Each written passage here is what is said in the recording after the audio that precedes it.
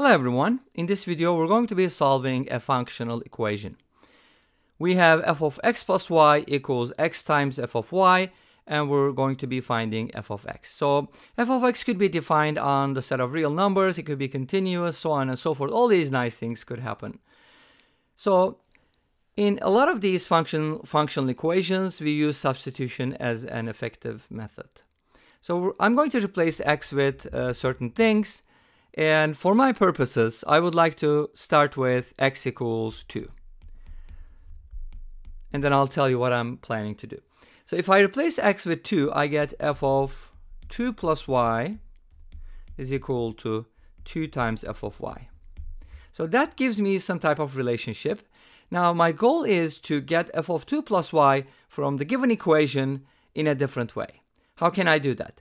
Well, since we have uh, you know a lot of freedom here in terms of you know x and y, we can just replace x with we can replace x with 1 and y with 1 plus y. I'm not writing the equal sign because y doesn't does not equal y 1 plus y. Maybe I should just use an arrow. Replace x with 1 and here the same thing replace x with 2 instead of just writing x equals 2. Okay, even though that's they're pretty equivalent. Anyway, so I'm going to replace y with 1 plus y and x with 1.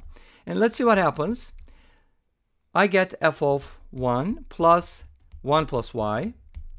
And then on the right hand side, x is going to be 1 and y is going to be 1 plus y. Now, some people are going to be questioning like, how can you replace y with 1 plus y? Well, it's possible because 1 plus y is another variable. You can basically replace any variable with another variable uh, as long as you're not violating any of the conditions. So this gives us something nice. f of 2 plus y equals f of 1 plus y. So that's kind of like an interesting relationship because we're adding different things to y, but we're getting the same answer. So does that mean f is a constant function? Is that linear? Is that something else? Let's find out. Now, I was trying to get f of 2 plus y in two different ways, and I did. So this is f of 2 plus y, and this is f of 2 plus y. Since two things are equal to the same thing, then they're equal. So I can safely say that from here, 2 times f of y is equal to f of 1 plus y. Now, how does this help us, right? Well, look at the right-hand side. We have f of 1 plus y, and look at the original equation here, we can actually use that to obtain f of 1 plus y. So if you replace x with 1 and leave the y unchanged, you get the following. f of 1 plus y equals 1 times f of y. Oops, I wrote f of 2, f of y, right? Just replace x with 1 here and here and then leave the y unchanged. And that's what you get. Great. So this gave us f of 1 plus y in a different way. f of 1 plus y from here becomes f of y. Again, that's kind of interesting that we're adding something to y, but it's unchanged. So let's go ahead and put these two together now. Since um, f of 1 plus y is equal to f of y, I can just put these together and write this as f of 2 plus y, you know. And remember, f of 2 plus y is equal to 2 times f of y.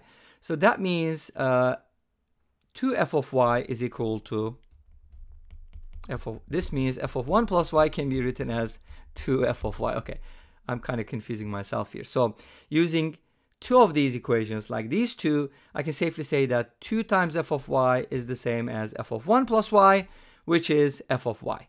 So now I can just uh, set this equal to f of y because f of 1 plus y is equal to f of y as well.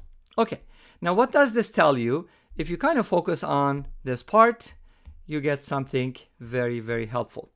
So we get 2 f of y equals f of y here. How can a number multiplied by 2 equal the number itself? Is that possible? It is when that number is 0. But how do you find that out? You are supposed to subtract f of y from both sides. Now, if you make the common mistake, like when you get an equation like this, 2x equals x, cross out the x's and you end up with something like 2 equals 1, which is obviously false, right? Because you're not allowed to divide both sides by x because x is equal to 0. Okay, so from here we get f of y is equal to 0. Now, what is that supposed to mean? Like when we find something like f of 0 equals 0, that is a particular point. But here, we are getting that uh, in the general sense. So if you replace y with x, since this is a function and I can do that, f of x is equal to 0.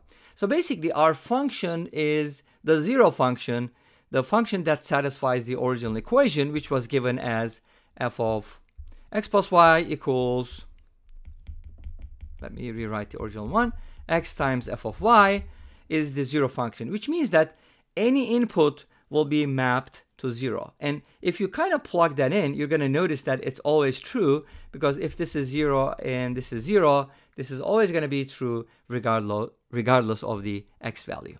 So our function is the zero function. And this brings us to the end of this video. Well, thank you for watching.